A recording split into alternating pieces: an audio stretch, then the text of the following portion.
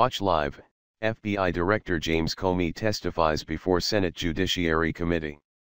Washington under fire from Democrats, FBI Director James Comey said Wednesday it would have been catastrophic to keep Congress in the dark about developments in the Hillary Clinton email investigation that emerged close to Election Day. Comey, in the most impassioned and public defense of how he handled the case, also said it made him feel mildly nauseous to think his actions in October might have influenced the race won by Republican Donald Trump over Democrat Clinton. But he told the Senate Judiciary Committee that the FBI cannot take into account how its actions might benefit or harm politicians.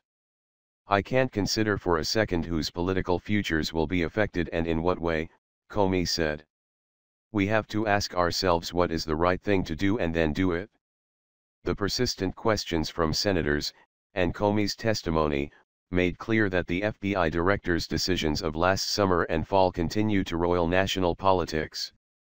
On Tuesday, Clinton said Comey's disclosure to Congress was partly to blame for her loss, but Trump tweeted that Comey was the best thing that ever happened to Hillary Clinton in that he gave her a free pass for many bad deeds. Speaking at times with a raised voice, Comey said he faced two difficult decisions when agents told him they had found emails potentially connected to the Clinton case on a laptop belonging to former Republic. Anthony Weiner, D.N. Why? Who was married to close Clinton aide Huma Abedin.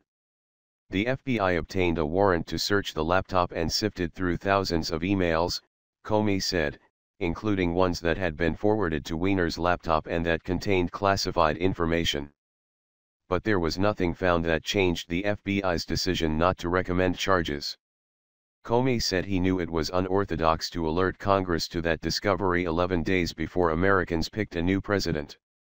But he said he decided it would have been catastrophic to keep silent, especially when he had testified under oath that the investigation had been concluded. I sat there that morning and could not see a door labeled, no action here, Comey said.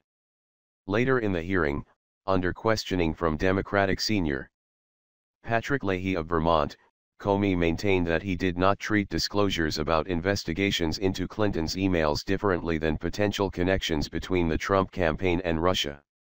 The FBI began a counterintelligence investigation last July into whether Russia had coordinated with Trump campaign associates to influence the American election, but he did not disclose that until a hearing in March, after Trump had been elected and taken office.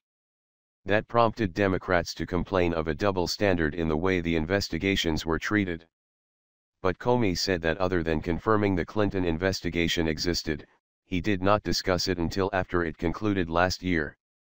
And he said the FBI does not expect to have anything to say about the Russia investigation until that one was over.